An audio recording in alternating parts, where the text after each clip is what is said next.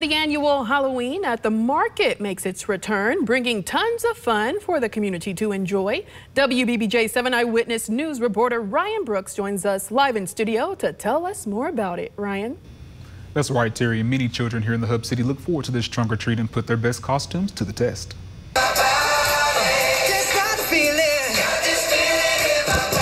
Children dressed in their best Halloween costumes and visited vehicles of local businesses to receive candy. Downtown Jackson, Jackson Parks and Rec, and the Jackson Walk has collaborated on making this a community-wide event. Uplifting the community is the number one priority, which they hope is demonstrated in their efforts to provide safe, family-friendly events in the Hub City. Our goal is to bring everyone together, and like I said, this is a free community event, and we're all after the same goal, which is to have fun in a safe environment. This year, secret judges are incorporated to hand out medals for the costume contest, and they have a special surprise for those who volunteered their trunk. We will be going around and looking at each trunk to see how much work and fun that they put in it, and there will be a, a prize for the best trunk. Last year, more than 2,300 children participated, and they expect an even bigger turnout for this year's Halloween at the market. This event was important for organizers to host so kids can remain safe. We just want to thank the entire city of Jackson for being available and supportive of these free community events.